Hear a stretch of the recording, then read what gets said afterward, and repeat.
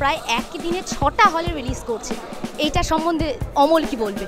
অমল না as an actor যদি বলে থাকি from the industry I think it's a good sign it's a very good sign কারণ we all want to grow big we all want to you know like take our legacy in different country you know like different continent তো it's good কে বাংলা ছবি বাইরেও release হচ্ছে। For the betterment সবারই জন্য, শুধু বুনো হাসির জন্য না, সমস্ত ছবির জন্য। অ্যান্ড তার জন্য আই থিঙ্ক বাংলা দর্শকও ভালো বাংলা ছবি পাবে। They don't have to wait for the DVD they don't have to wait for the কখন ইউটিউবে লোড হবে কখন প্যারিসি হবে। I think it is good in a way but is long way to go again আমরা চাই যে বছর দুয়েকের মধ্যে আমরা সমস্ত জায়গায় যেখানে বাঙালি কমিউনিটি থাকে বা যাদের সংখ্যা বেশি যেই জায়গাটায় ওইখানে যেন আমরা বাংলা ছবি রিলিজ করতে পারি। জাস্ট দু একটা কথায় যদি তারা জানতে চায় যে অমল কি যদিও কাল রিলিজ করছে জাস্ট দু এক কথায় বিদেশের দর্শকদের জন্য। Amal I think is is a common man it is a story of a common man বুনো হাসটা তার স্বপ্ন, তার উড়ার স্বপ্ন সে সত্যি কি উড়তে পারে।